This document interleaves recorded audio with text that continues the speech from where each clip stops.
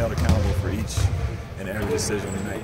Like you guys came in in great shape though, but it is a grind. Excuse the word, but as you get to Monday's preseason opener, is there a sense of let's just play a game, let's play somebody else because you've done this so for you know six straight days? Yeah, you look forward to it because you beat up on each other for six six straight days, and there's no fouls being called. You're just you know being as physical as you can. So you're looking forward to get into a structured setting. You know, a game where you're playing with somebody who hadn't been been around you all summer, and, um, and get to see all the work that you've done and all the things that we were able to accomplish. Maybe not so much for you, but for some of these younger guys that are maybe fighting for a D League spot.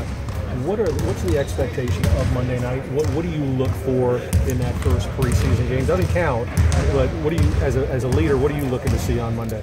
Well, one, you want to see the effort. You know, you want to see guys staying disciplined, understanding our concepts, uh, being as crisp as you can. You know, if we can go in there and not turn the ball over, uh, make the right play, make the extra pass, dive on loose balls, you know, show the effort, that kind of stuff. You know, the game becomes easy, and that's what we want to see early on in the season.